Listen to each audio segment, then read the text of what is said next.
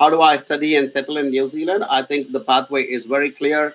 You need to come and pick the appropriate level of course, which is where someone like AJV will ensure that we give you all the options and put it in front of you. And now recently there have been some changes to the immigration law. So uh, depending on what level of course and which city you're choosing, you might get a one or a two or a three years post-study work visa. In that post-study work visa uh, period, you need to find yourself a relevant and suitable job. And if that uh, uh, position and salary is matched as per the immigration instructions of New Zealand, then absolutely you'll be able to uh, reach to the your desired goal of permanent residence, which is what most of you guys and girls who come on these live sessions want. So please connect with us.